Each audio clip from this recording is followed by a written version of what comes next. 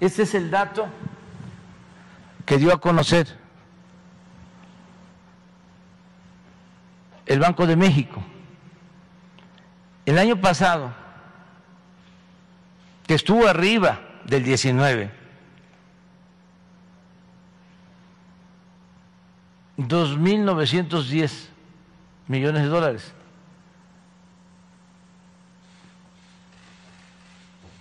Pero cuatro mil ahora. Más de mil millones de dólares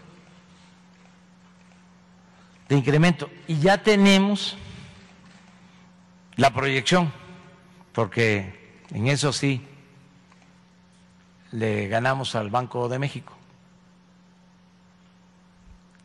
Siempre eh, nuestra proyección se cumple y ya tenemos la proyección que mayo va a estar así.